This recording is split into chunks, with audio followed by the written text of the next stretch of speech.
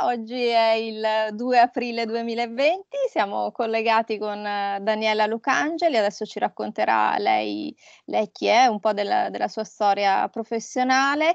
Eh, mi fa piacere coinvolgere Daniela in questo incontro, in questa serie di video interviste organizzate da Fed Stroke perché è un momento in cui ci sono tante domande lato, lato famiglie, soprattutto lato famiglie che eh, vivono, hanno vissuto in passato e vivono tuttora delle, delle fragilità, quindi famiglie che hanno in casa una persona con, con disabilità.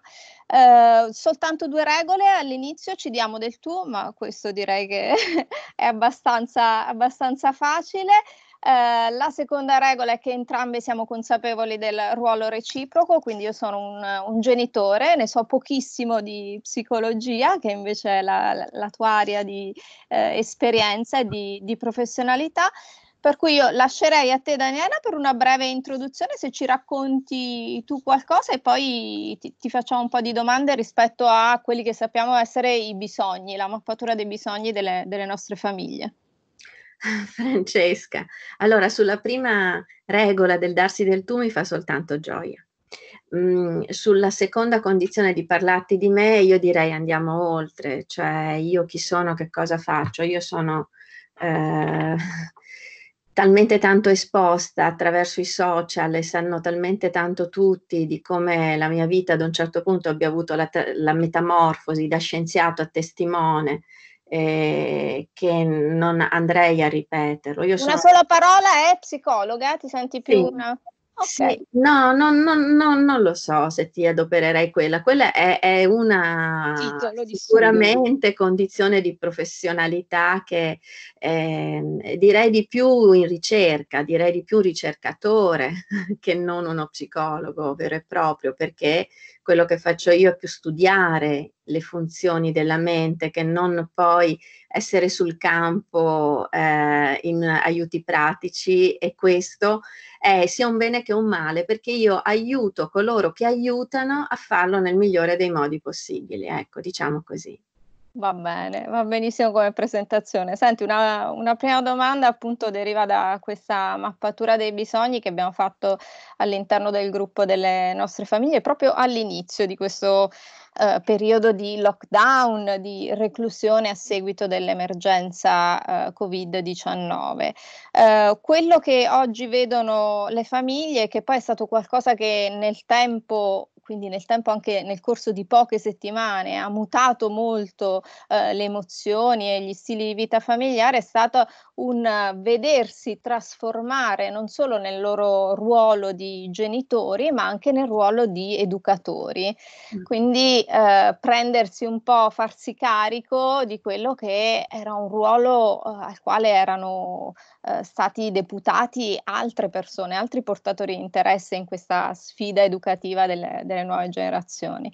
Su questo, che cosa, che cosa, ci puoi dire? Qualche consiglio? Quello che è il tuo punto di vista dal, dall'osservazione che hai fatto tu stessa in queste, in queste settimane? Allora, guarda, um, quello che mi è capitato in queste settimane è mh, imparare ad ascoltare, l'ho detto più volte in questi giorni, perché? Perché per una serie di coincidenze mi ritrovo ad essere una persona a cui tante persone raccontano il proprio sentire quasi più perché io gli faccia da specchio, da riflesso, che non perché eh, io possa dare in qualche modo un contributo altro, se non il fatto di stare ad ascoltare, sto ad ascoltare cose che prevalentemente mi vengono scritte. E di qui le domande, perché la gente scrive a me? Che in fondo sono, come ti dicevo prima, una persona che in realtà è un ricercatore, una persona di scienza, che poi ad un certo punto decide di raccontare alle persone molte delle vulnerabilità che i bambini incontrano, soprattutto per far capire loro come rendere queste vulnerabilità ostacoli superati e non ostacoli ostacolanti. Ecco. E, e la mh, sorpresa eh, che mi ha anche frastornato è capire che probabilmente mh, mh, il nostro sistema di vita ci ha portato ad ascoltare pochissimo il linguaggio antico con cui la nostra specie dialoga con se stessa, che è il linguaggio emozionale. Noi è come se come adulti ad un certo punto ci fossimo convinti per lo stile proprio di, di forma mentale, forma mentis che abbiamo sviluppato, che le emozioni mh, altro non sono che qualcosa di superficiale e che regolamenta gli stati così di, eh, io dico la schiuma delle onde, e questo è un grandissimo eh, bias, errore di ragionamento in cui ci siamo illusi come generazione, perché invece le emozioni, quando io lo spiego ai miei studenti, non sono la schiuma delle onde dell'oceano, ma sono la forza di movimento dell'oceano. Cioè le emozioni sono veramente le strutture di linguaggio che il nostro radar, il nostro cervello incarnato, perché se io ora muovo le mani è perché il sistema nervoso periferico riceve un'informazione neuroelettrica che pervade tutti i tessuti, quindi il nostro linguaggio interno è un linguaggio in cui questo radar comunica con tutta la periferia sempre. E qual è stata la prima cosa che ha imparato a dirsi? Ha imparato a dirsi se quello che accadeva gli faceva bene o gli faceva male. E questo linguaggio è iniziato come un impulso emozionale, cioè il cervello antico della nostra specie riconosce le emozioni come il suo linguaggio più eh, eh, certo, quello che dice ok, stai bene così e quindi abbiamo emozioni che ci rasserenano, ci quietano, ci nutrono di benessere, diciamo, e poi invece abbiamo l'altra parte che è l'allert, no? come la paura, l'ansia, la preoccupazione che ci dice attento, attento, attento, quello che ti sta accadendo è rischio per te. Questo linguaggio che si chiama intrapsichico noi l'abbiamo come silenziato. Quindi non abbiamo più posto attenzione a ascoltare cosa ci accadeva dentro quando, per esempio, abbiamo un linguaggio che ci parla di paura, di preoccupazione, di disagio, di eh, senso di sconforto. Lo abbiamo come tacitato, ma questo è un linguaggio antico che ha milioni di anni evolutivi, è, ha memorie che sono memorie di specie, quindi cosa ha fatto in questa sorta di repressione così? Ci ha reso dei piloti con la parte, diciamo, cognitiva della mente, molto poco capaci di, di, di rispondere a dove ci porta la nostra macchina, cioè la nostra vita, la nostra fluire di informazioni interne. Ecco che noi non riusciamo a controllare con la mente la nostra gioia o la nostra ansia. Perché? Perché non è la mente cognitiva, diciamo così, la volontà di, di controllo e di gestione che possa contenere questi linguaggi così potenti, antichi e funzionali a um, eh, quasi rispondere ad un obiettivo mm, eh, veramente distribuito, che non è soltanto di Daniela o di Francesca, ma che è di tutti gli esseri viventi, che è la ricerca della condizione di ehm, protezione eh, profonda, autentica del self, dove per self si intende non soltanto l'io penso, eh, ma si intende la, la struttura dell'organismo vivente. Che vuol dire questo? E poi concludo, sai Francesco, la paura avverte che qualche cosa ci sta mettendo a rischio, non sapendo eh, eh, ascoltarla questa paura, il nostro sistema ce la ripete sempre, ce la rimanda sempre, quindi noi è come se fossimo ingorgati di paura, che allora diventa ansia, che poi diventa angoscia e poi ci possiede. E perché ci possiede? Perché ci continua ad avvertire che quel sistema lì ci sta mettendo a rischio. E il rischio non è solo fisico, ecco perché parlavo del self, ma è anche proprio di equilibrio mentale. Riassunto, come vedo io questo presente? È un presente in cui questo linguaggio comincia a fare da padrone, a far sentire che non stiamo un granché in equilibrio eh, sulla le onde di questo nostro profondo oceano emozionale. Né come adulti né riusciamo ad accompagnare i nostri figli alla regolazione di questo linguaggio, proprio come quando regoliamo il volume eh, di una musica che per quanto sia magari la più bella che amiamo ci diventa insopportabile quando supera certe soglie. Così è in fondo per la nostra vita, se non sappiamo regolare questi linguaggi emozionali profondi, anche l'amore per i nostri figli o per i nostri amici, per i nostri compagni, per le nostre compagne, possono diventare, facciamo questa metafora del volume che lo fa capire meglio, quasi una condizione che ci tiene in eh, alert invece che in fluire eh, meraviglioso e, e, e, partecipato di questa ma, fase della vita. Ma infatti io mi ritrovo molto su, su, su quello che dici, sia per uh, i linguaggi che ascoltiamo in questo periodo. Ti cito la, la prima voce di questo sondaggio in cui si chiedeva ma tu di che cosa hai bisogno? E le persone rispondono, le famiglie rispondono, in principal modo le mamme, perché il, il genitore caregiver principale delle, delle, nostre famiglie, sono preoccupata nel caso dovesse succedere qualcosa a me o a mio figlio e chi potrebbe curarsi di noi. Quindi eh, paradossalmente rispetto a quello che dicevi tu, forse il livello di alert delle famiglie che sono già passate attraverso un trauma eh, è livello di alert, certo, su una soglia sempre abbastanza elevata, però con una capacità ancora di ascolto di quelle emozioni che invece ci fanno progredire. Eh, questo è quello che io prima eh, avrei voluto raccontare come la potenza dell'esperienza mh, mh, appresa, cioè quando si passa attraverso un dolore e una vulnerabilità superata, si apprende eh, a transitare le condizioni che ti rendono fragili sapendo che è proprio attraversandole che ci si rafforza. Poi non è detto che tutti ci debbano passare no, per sperimentarla. Che... No, io, io, ieri citavo questa, questa preghiera laica di Schopenhauer, quindi un filosofo sicuramente non della speranza, ma in cui lui diceva che forse la preghiera più bella che c'era era quella in cui gli, nel, nel, nelle feste indiane si chiedeva alla fine della festa che tutti gli esseri viventi possano restare liberi dal dolore. E io mi sono permessa di aggiungere dal dolore inutile, quello che non insegna ad andare di là dell'ostacolo, perché il dolore, così come la paura, così come l'ansia, così come l'angoscia, cosa sono? Se posso permettermi di, di, di, sì, certo. di dirvi questa, questa parte che proprio da madre eh, mi viene da dire è eh, fate come questo piccolo esperimento in questo momento, così capite che cos'è il dolore, perché il nostro cervello lo percepisce. Datevi un pizzicotto, per esempio, qui sul, eh, sull'orecchio, e poi su un ginocchio, e poi su un piede. Se io vi domando chi sente dolore, ecco, voi mi direte subito, ma che domanda fai? Certo che lo sento io il dolore. Cioè il dolore è l'informazione che la periferia, per esempio in questo caso la periferia del nostro corpo, rimanda alla centralina per dire che c'è qualcosa che la sta attaccando.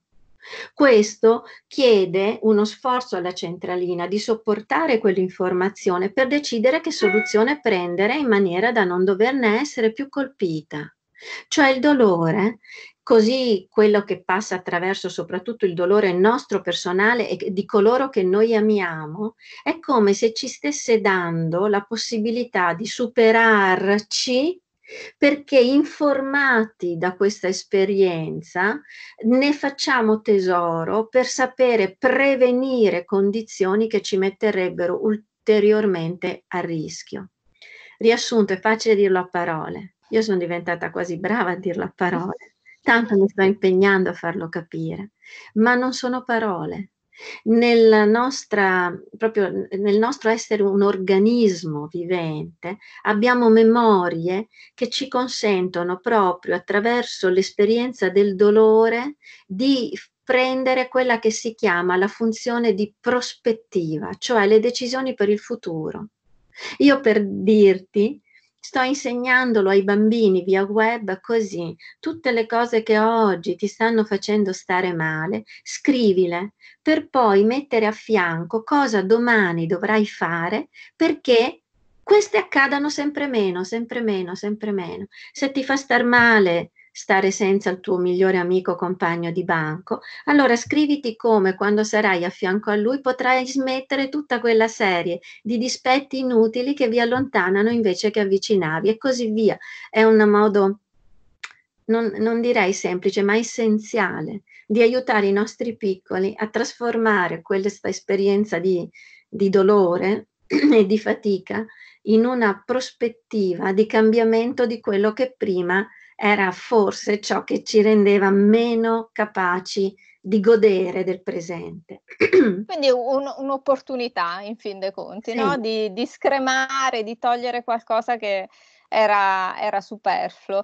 Uh, su questo c'è un, un, tema che tu citi, citi, spesso, un po' anche riguardo al, al tuo ruolo eh, nel, all'interno del CNIS, quindi eh, di quella che chiamavo proprio poco prima la, la maestra delle maestre, no? il fatto di eh, insegnare ad altri insegnanti a come eh, fare una, una didattica eh, con bambini che hanno esigenze di apprendimento diverse, diciamo, dalla, dalla tipicità.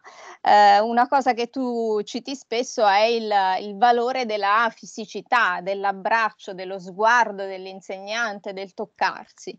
Come facciamo in questo momento di distanziamento sociale, come l'hanno chiamato, no? Che anche la, la parola è bruttissima, eh, nel senso che si sta lontani, ma si sta lontani fisicamente, non eh, come, come persone. Quindi come facciamo a fare, ad esempio, inclusione all'interno della didattica online? Come possiamo lavorare su, su, su, queste, su questi temi?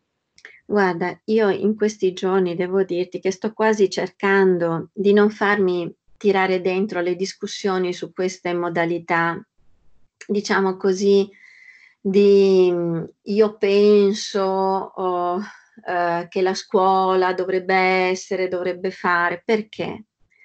Perché eh, sai quella canzone che mi viene quasi da ridere, eh, gli altri siamo noi, no? Ecco, e questo è un momento in cui ci dovremmo ma la scuola chi è se non, non siamo...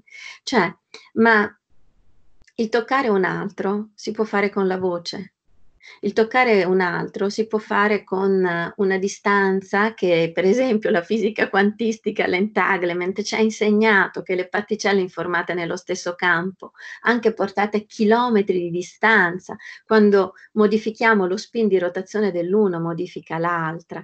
Cioè, in un certo senso dobbiamo renderci conto che questa emergenza, se stiamo parlando di questa fase, sì. è un'emergenza che è vero ci ha costretto a non andare a scuola, ma con tutti i mezzi che ci sono oggi, una voce attraverso un WhatsApp o uno smile o un entrare a casa dei bambini come la scuola ha, in qualche modo ha avuto la necessità di fare, è un passaggio di significato immenso per i bambini, perché è la prima volta che i bambini non vanno a scuola, ma che è la scuola ad andare a loro.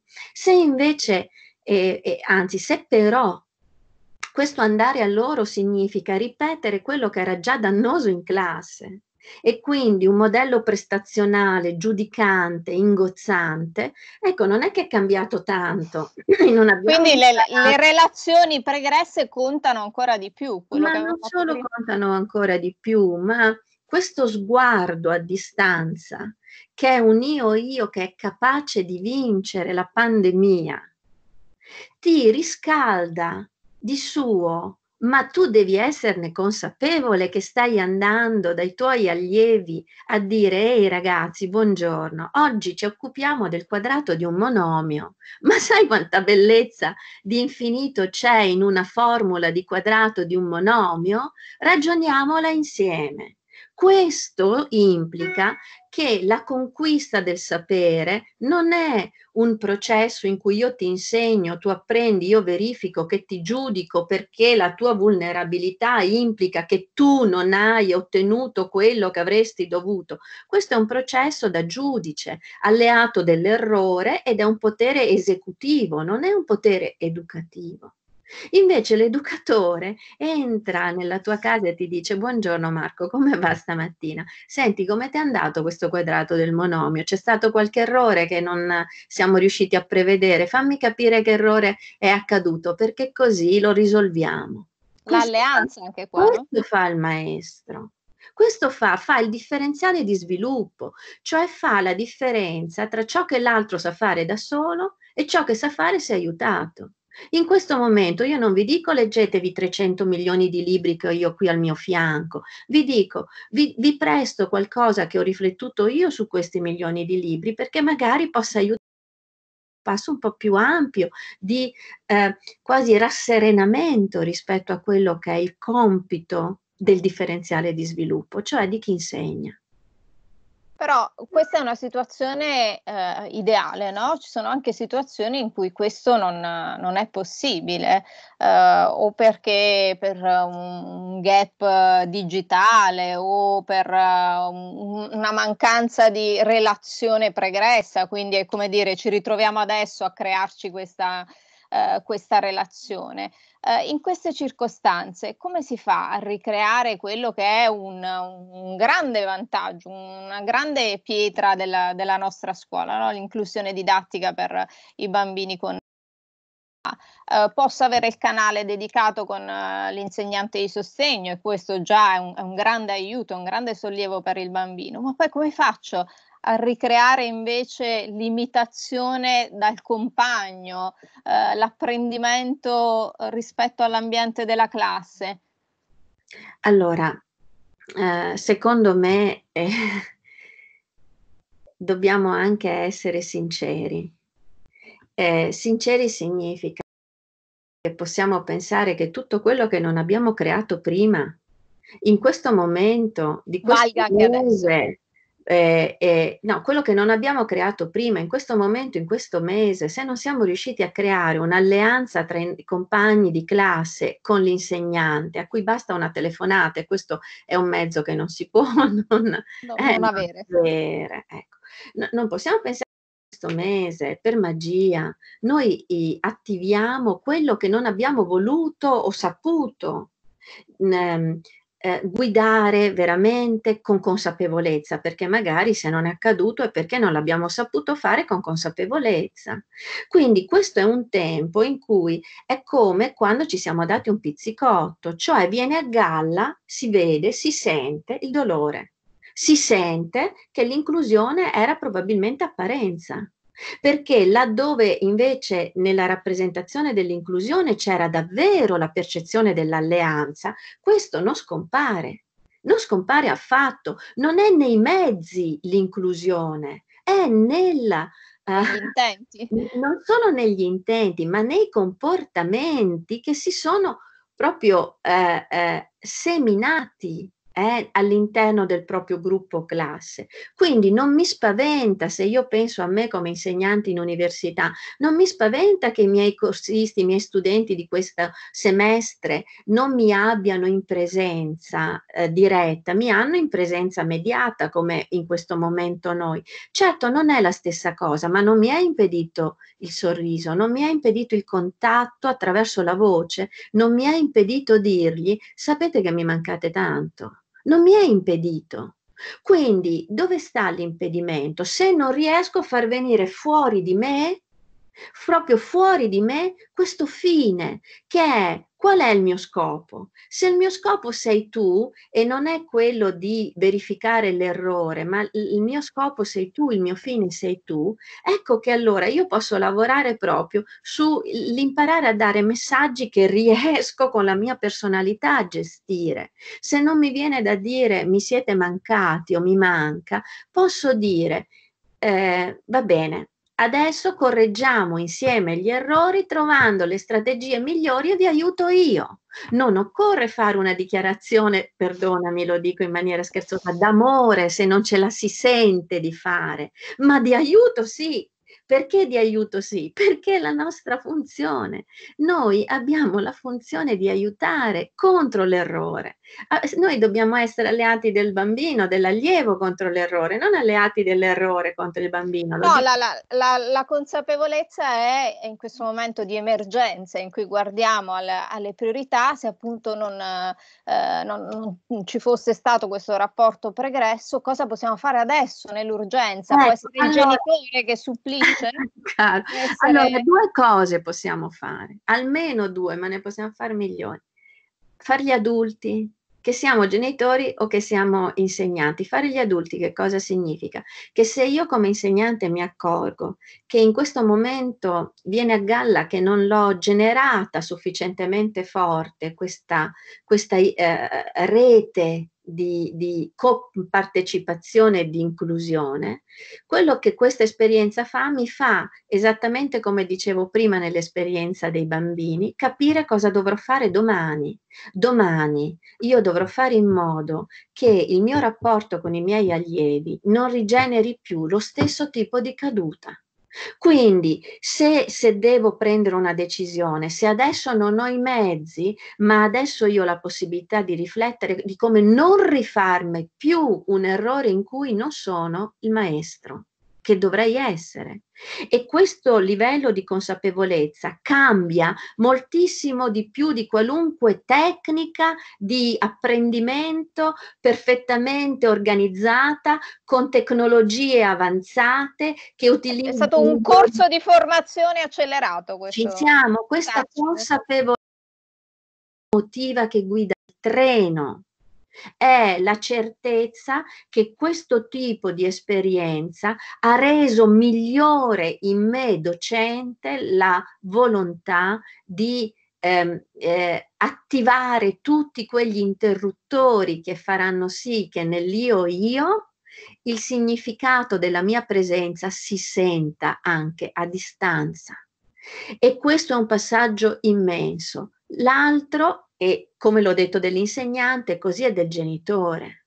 Io se non sono riuscita a trovare gli accordi con i miei figli che consentano di rispettare le loro libertà, ma anche le mie, le loro emozioni, ma anche le mie, se non sono riuscita a farlo con, miei, con il mio compagno a fianco, con la mia compagna a fianco, da questo devo trovare un'occasione perché non ricapiti e per non farlo ricapitare devo fare un progetto per me nel futuro, non so come riuscire a dirvelo meglio. Io faccio l'esempio de, del foglio piegato a metà che adoperiamo con i bimbi. Se in, un, eh, in una parte del, del, foglio si mettono tutte le difficoltà che stanno incontrando, nell'altra parte si mettono tutti i propositi per ridurle passo a passo. Così dovrebbe fare anche un adulto. Io sto facendo così per me. Non è una tecnica eh, di psicologia avanzata, ma essenziale. Per esempio, ti faccio un esempio ridicolo. Io sono una pessima madre da un punto di vista di mm, prendermi cura del cucinare per mio figlio. Beh, in questi giorni io ho voluto superare questo mio ostacolo perché era il mio modo di dimostrare un amore concreto che sa dire ad un ragazzo di 19 anni, tu sei per me l'obiettivo più grande della mia vita e tutto quello che io non sono capace di fare, io mi metto alla prova. Mi metto alla prova. Quindi, con semplicità, guardiamoci davvero nei nostri punti di vulnerabilità e prendiamo questa condizione che è una condizione in cui non è che stiamo a casa perché non possiamo uscire, stiamo a casa perché non possiamo ammalarci. Ecco, è tutto un altro modo di vederlo. Non siamo a casa perché ci sono dei decreti, siamo a casa perché così tuteliamo ciascuno di noi e ciascun altro.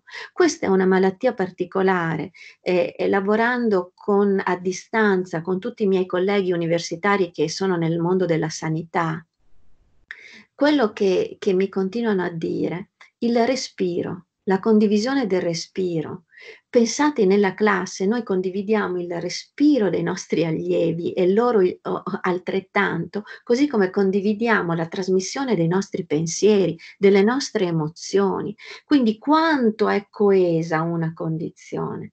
Una malattia che colpisce simbolicamente il respiro, al punto che l'altro può diventare fattore di rischio per il semplice fatto di essere, esistere lì vicino a me, a livello proprio simbolico simbolico, è veramente mm, mm, eh, un, impre- un, imprevisto per l'umanità. Per un imprevisto e anche un, un segnale di interdipendenza, no? Di interdipendenza, quello a cui volevo arrivare con questo lungo sproloquio. Cioè nessuno di noi è libero dall'altro. Sì. Ciascuno questo credo che sia il, il grande insegnamento di questo. Dall'altro, il suo, il suo star male e il mio star male sono interconnessi.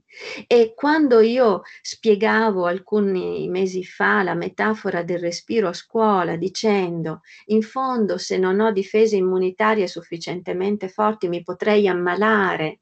Se partecipo di una stessa comunità, così è la mente, se non ho processi di autoregolazione, la tua rabbia mi impatta, la tua angoscia mi impatta, la tua vulnerabilità mi impatta, quando io lo dicevo ero lontanissima dall'immaginare che poteva accadere un evento che ce lo ha reso talmente evidente anche più spiegarlo. Nessuno di noi è non contagiabile nel corpo e nelle funzioni mentali. Quindi quando noi dobbiamo o da adulti comportarci con responsabilità verso chi accompagniamo da genitori e da figli, abbiamo il dovere di questa consapevolezza, con l'umiltà di fare quello che possiamo, ma non continuare a lamentarci senza progettare. Questa lamentazione, non ci sono i mezzi, non è adatto. Ah, la... guarda, que- questo assolutamente non, non, fa parte del... del... Capito, ma io se vi leggo le mail che dice sono, ci continuiamo a nascondere, basta, il re è nudo, sai Francesca la storia del re è nudo, no? E ecco, quel bambino che viene fuori e di fronte al sovrano che, che tutti quanti acclamano per avere il vestito più bello del reame, dice ma che stai dicendo? Sei completamente nudo. Basta, sono, sono giustificazioni. Ne abbiamo la necessità perché così in qualche modo giustifichiamo i nostri punti di buio, ma se continuiamo a giustificarli, i punti di buio non passano mai. No, sono, sono, d'accordo e per questo, per avallare la tesi di, che le, le, nostre famiglie sono però famiglie resilienti che in questo momento credo siano le uniche che non si lamentano, cercano soluzioni, cercano strategie. Ti dico e, e poi ti lascio su questa, su questa chiusura eh, dicono fra le prime cose che emergono da questo sondaggio è vorrei cogliere questa opportunità per insegnare a mio figlio qualcosa di nuovo e subito dopo vorrei cogliere questo periodo per imparare io qualcosa di nuovo.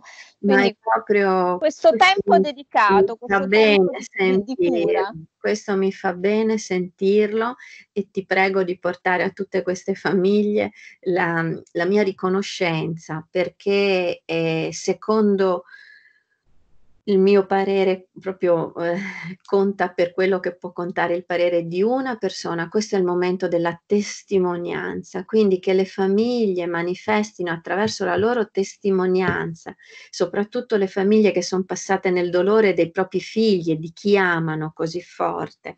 E un messaggio che è, veramente dice troviamo quello che può modificare in meglio una condizione così eh, ehm, di debolezza per tutti, ecco, questo secondo me è il ma- miglior incoraggiamento oh, mh, mm, io a io, ecco, proprio madre a madre, padre a padre, io a io. Quindi n- non vorrei dirvelo a parole, non mi viene mm, talmente profondo che non mi viene quasi fuori perché è, è questo che dovete fare, fare capire ai genitori probabilmente che stanno più in superficie, quanto sia invece nel profondo del nostro uh, vivere, del nostro vivere l'importanza di trasformare ogni esperienza in un progetto migliore. Bellissimo. Beh, allora mi sembra di capire che siamo perlomeno sulla buona strada. Il consiglio di, di lettura, non so se si vede adesso perché qui abbiamo tutti gli, gli schermi sfocati, è il, è il libro, l'ultimo libro di Daniela, Le cinque lezioni leggere sull'emozione di apprendere. E questo, Daniela, secondo me è un libro utile anche al genitore, quindi non credo che tu l'abbia pensato solo per, no, per l'insegnante. No? Guarda, devo dirti, non l'ho proprio pensato, nel senso che sono cinque lezioni sbobinate dall'editore perché erano lezioni che avevano avuto delle conferenze che avevano avuto uh, una grandissima richiesta da parte degli utenti. Quindi lui ha detto invece di raccontare usarle soltanto per chi era presente, mettiamole per iscritto. Mettiamole su carta. Quindi è un linguaggio che è proprio un linguaggio sbobinato, quindi io mi sono quasi risentita di questa operazione. E lo scrivi, lo scrivi anche nella premessa, il rigore sì, delle fonti scientifiche. Sì, sì, mi sono quasi risentita, ma e, e poi ho pensato che probabilmente è proprio questo suo linguaggio è perdonabile perché l'intenzione è quella di poter essere usufruibile e, e immediatamente arrivare a dire senza troppi filtri l'essenziale. Ed è, ed è così. Daniela, noi ti ringraziamo per questo tempo prezioso. A voi. Auguriamo di risentirti in una fase evolutiva in cui raccontiamo cosa abbiamo imparato e, e come siamo evoluti. Bellissimo questo progetto, Francesca, bellissimo. Ciao, ciao a tutti, grandi, eh. ciao, ciao, ciao.